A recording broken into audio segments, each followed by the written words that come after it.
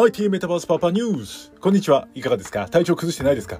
そいつはよかった。私もあなたのおかげで元気です。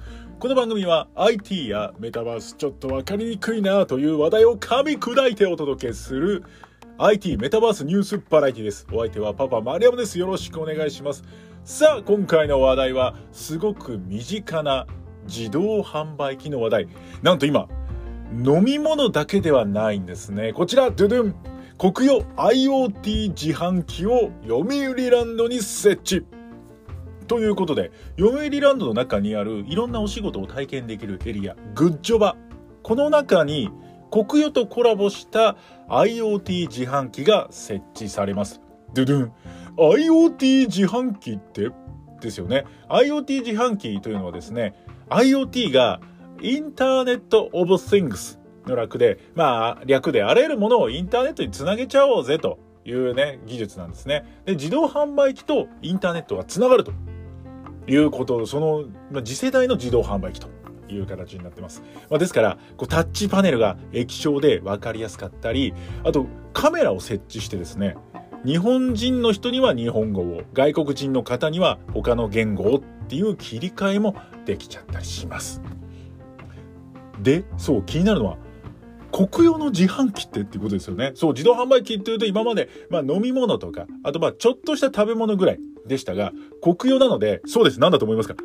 はい、そうですね。そう、自動販売機なのに文房具が買えると。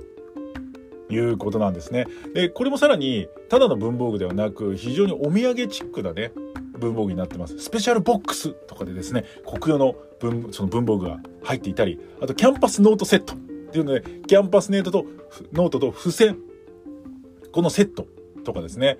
あと、修正液とか、はい。そういうのがこう、まあ、買えるようになっております。で、さらに読売ランドの場合は遊園地なので、シークレットセットっていう形でもう何が出るかな何が出るかなみたいなくじ引きのようなね、遊びもできる文具セットが買えたりもします。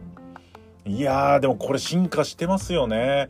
やっぱこの、今まではただドリンクを買うだけということだったんですが、もう今や人手不足解消で一つのお店、店員さんの代わりになるというね、今役割を持ってきていますね。で、この IoT 自販機という形で今、いろんな自販機が出ています。国用さん以外にも、例えば、ヘアケアブランドの比率さんではですね、シャンプーとトリートメント。まあ、これがもう自動販売機で買えてしまうというね、そう自動販売機も出てきています。今までは食べ物、飲み物ぐらいでした。あと、おでん 私たちの頃。すごい秋葉原のおでんとかね、そうありましたし、最近だとあの、生のオレンジを絞るオレンジジュースなんていうのもありましたが、まあ、さらにさらにね、進化して、文房具とか、そういうシャンプーとか、化粧品とかも一つの店舗が今自動販売機にギュッとね詰まろうとしているということなんですね。まあこれも人手不足解消というのの一つになるんでしょうか。非常に楽しみです。ぜひですね、この IoT 自販機。まあ IoT だっていうね、意識することはないと思いますが、ちょっと変わった自販機あるなって言ったらね、えー、ぜひご覧いただきたいなと思います。そしてもしあなたの身の回りでちょっと変わった自販機があったらぜひ教えてください。よろしくお願いします。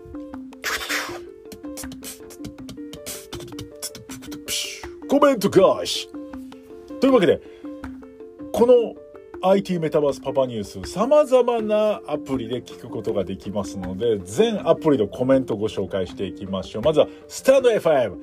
ゆせはまさん、ありがとうございます。こんにちは。 Voicy の方は1個目争いが厳しいので、こちらに1個目。あ、ちなみにこの1個目なんですけども、もう何でも聞いてなくてもいいので、一番最初にコメントした人が優勝というね、謎のゲームでございます。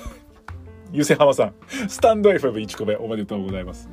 で、私もチェルシー、あ、チェルシーの話題ね、チェルシー販売終了になっちゃうんですよね。で、私もチェルシーのヨーグルト味が好きでした。ありがとうございます。チェルシー今、ね、販売終了になっちゃうので最後に食べたいなと思ってると思うんですが、ヨーグルトスカッチ私もね、これですよね、やっぱりね。久しぶりにな、なかなか売ってないんですよね。久しぶりにちょっと最後ね、こうちょっと食べてみたいなと思っております。ありがとうございます。1個目おめでとうございます。そして YouTube の方もコメント来ております。ありがとうございます。YouTube だとこれ多分和代さんかな和代さん。ヨーグルトスカッチ大好きなので本当に残念です。キャンロップも最近見かけないような帰り締めに走らないとですね。キャンロップって何？キャンロップ。これか。これでキャンロップ。これも最近、今だからグミなんですよね。人気がね。だからキャンディーの方がね、ちょっと弱いのかもしれないですね。ありがとうございます。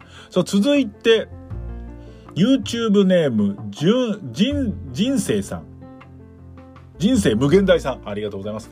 え私もえパパ、私も緑のヨーグルト味、お姉さん気分で好きでしたな。本当かわからないけど、転売屋がすごいらしいと聞きました。残念だな、残念だな。いやー、ヨーグルト味の人気ね、すごいですね。うん。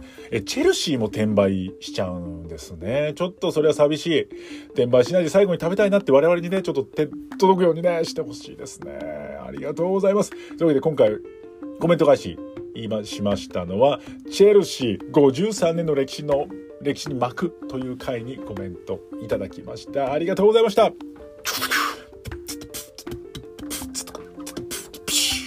パパニュース。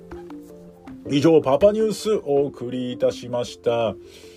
いやー、でもその、今回はね、そう、コメント、自動販売機。ですの、自動販売機、身近にある自動販売機で、ちょっとこれ面白いなっていうものをね、ぜひいただきたいなと思います。私の周りだとね、あの、ラーメン。あの、本当パックに入ってる、なんかすごい美味しそうなラーメンの自販機がコインランドリーの横にあるので、あれいつかね、買ってみたいなと思ってるんですよね。結構 YouTuber さんも、あの、1000円ぐらいで、ラーメン買ってくるみたいなね、動画よくありますので、どういう感じなんだろう。でも1000円のラーメンって結構じゃないですか。そう。スーパーで1000円のラーメンってなかなかこう売ってないので、自動販売機ならではっていうものなのかもしれませんね。うん。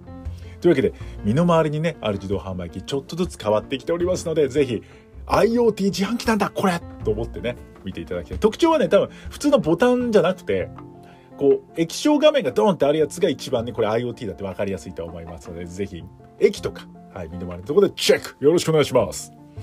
というわけで、IT メタバースパパニュース、最後までお聞きいただきありがとうございました。お相手は、IT メタバースパーソナリティパパ丸山でした。また明日お会いしましょう。バイバイ。